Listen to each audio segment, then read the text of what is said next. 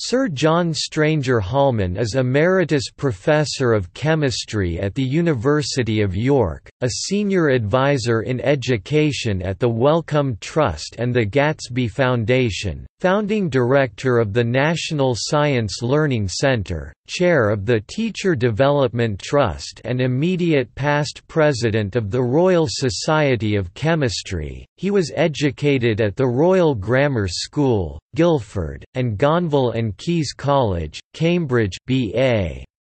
Hons, 1967, he was head teacher of Watford Grammar School for Boys between 1994 and 2000, and was the British government's National STEM Director from 2006 to 2010 STEM referring to the academic disciplines of science, technology, engineering, and mathematics.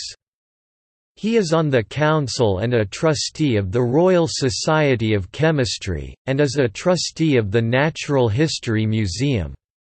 He was made a Knight Bachelor in the 2010 New Year's Honours. In 2014 the Royal Society of Chemistry awarded him the Lord Lewis Prize, "...in recognition of his extensive influence over chemistry education policy."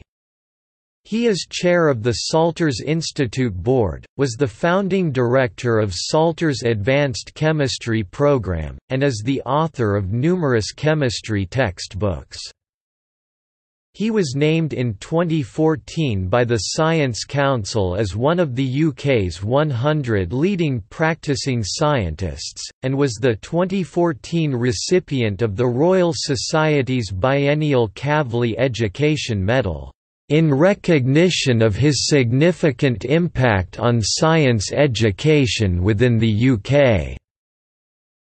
He is author of the Good Career Guidance Report for the Gatsby Foundation, 2014, which is the basis for the English government's National Strategy for Career Guidance in Schools, Career Strategy, Making the Most of Everyone's Skills and Talents 2017.